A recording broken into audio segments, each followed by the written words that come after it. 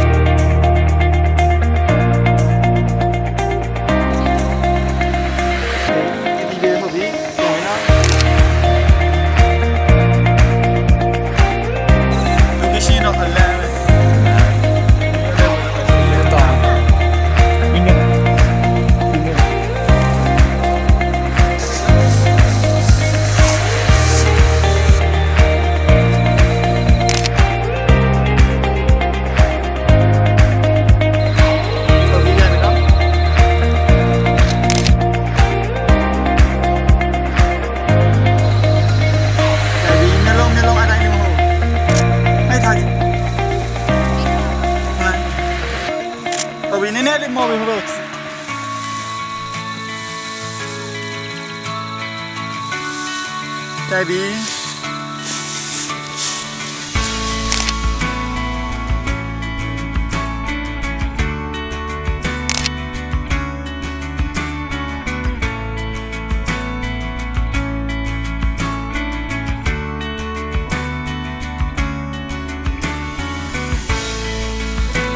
ရှိသေးတော့မပြည့်သေးဘူးတောင်ကုန်း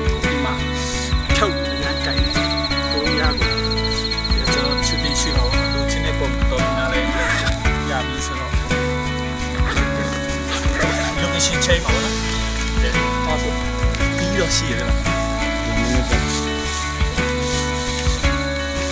တလုံးပြန်နော်အဆူးတယ်ချင်းချင်းစကားလေးလို့ပေါ့နော်ဒုက္ခမှာတော်တော်လေးပေါ်တယ်ချန်စီအဖြစ်လဲဆိုင်တယ်ပေါ့ဒီကဒုက္ခမှာတော့ဝိုင်းလဲလုပ်လို့ရတယ်ယူတို့ပမုံနဲ့ညှက်စားတာပါခေါ်တယ်အဲ့ချစ်ဘယ်လိုလဲချစ်ယိုယိုယိုယူပေါ်အမျိုး ပမုံနဲ့တုတ်စားကြတယ်တော်တော်မိုက်ဥပိုင်လည်းရမ်းတယ်နောက်နေ့မှထပ်တိုင်းကြောင်းပြန်ပြကြဒီမှာ channel မှာဝင်ရိုက်အခုကတော့ထောက်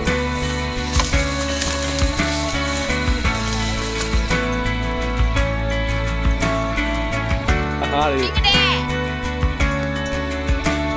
ချက်ခွဲတဲ့6 friend ကျွန်တော်တို့ဒီပုံရိုက်ဖို့ကျွန်တော်တို့ဒီမှာ၄နိုင်ကလေးကလာစောင့်နေ နိုင်ကလေးကလာစောင့်နေတော့ဒီပုံမှာရိုက်တော့အဲရရင်တော့အစီအပြေပေါ့နော်အမိုက်ကလေးရမ်းပေါ်နေတာခုခံရနင်းလာလေတဲ့နေရာပေါ့လူကြီးတွေလာလေမိုက်ရင်းနဲ့ထွာလာရဲ့ကျွန်တော်လာတာအောက်မှာတက်ကြကြကမှရိုက်နေလာတယ်နောက်ကျသွားတယ်